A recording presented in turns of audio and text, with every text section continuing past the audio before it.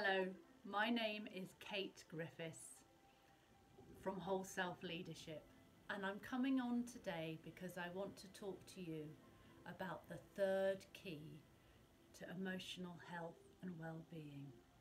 This golden key is called generosity.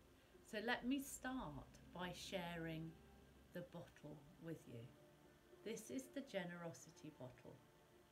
What do you get when you look at these colours? How do they make you feel? What words or images or memories do you associate with them? Hold nothing back. Just allow it all into your consciousness.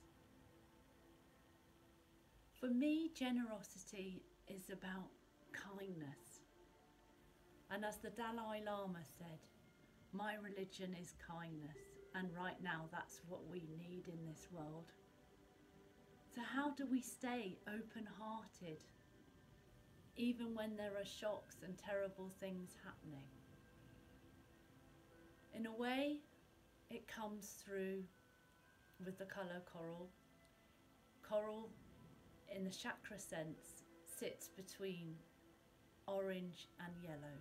Orange being the chakra point that absorbs shock and trauma, which is why it's so good for holding us in a steady state.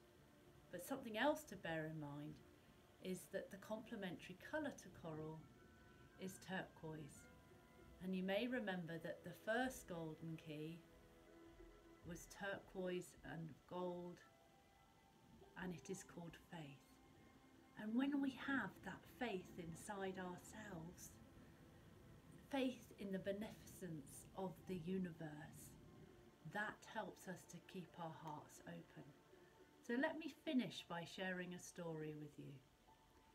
It's from Rachel Naomi Remen, whose grandfather used to have a special name for her that meant beloved little soul.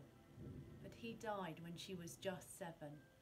And first off, she thought that she too would disappear because no one else had seen her the way he had seen her and he was no longer here. But over time, she realised that once blessed means forever blessed. And many years later, when her mother was extremely old, she her mother decided to start lighting candles and talking to God and Rachel felt called to share with her this story about her grandfather and the impact his blessing had had on her. And Rachel's mother looked at her really sad and said, But Rachel, I have blessed you every single day of your life.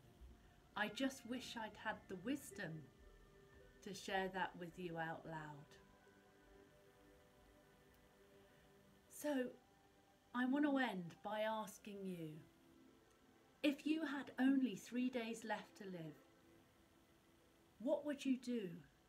And who would you say what to? And why don't you do it right now anyway? And just notice what happens around you. I can guarantee you will taste more abundance in your life as you give generously from your heart to those that you love. It is akin to throwing a stone in a pool and watching those ripples expand outwards as far as the eye can see and beyond. You will not know the impact of your generosity, but you will experience it back in turn because that is how the world works. So give it a go and I'd love to hear in the comments how you got on. And if you like this video, please do share it with others and subscribe to the channel. Thank you so much for watching and I look forward to seeing you soon.